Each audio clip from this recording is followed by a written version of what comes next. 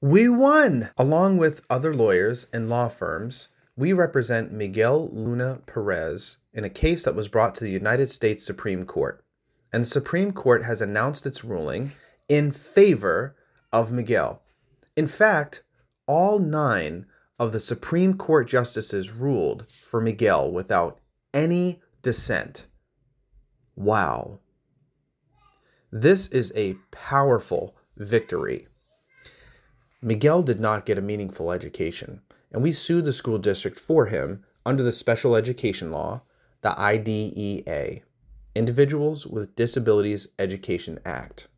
We settled that case with the school district, but were not satisfied and felt the school district also violated Miguel's ADA rights. We sued the school district under the ADA, but the court rejected our case and said we have to exhaust the IDEA. We argued the ADA is completely separate from the IDEA, but the court did not agree with us, and we appealed, and that appellate court also rejected our case. We appealed again to the Supreme Court and finally prevailed. And the Supreme Court agreed with us that IDEA and the ADA are separate laws, and we could pursue the ADA case for access issues independently. Now that that's final and clear, all school districts are on notice that they are responsible for compliance with both laws, the IDEA and the ADA, rather than relying on the IDEA and avoiding the ADA.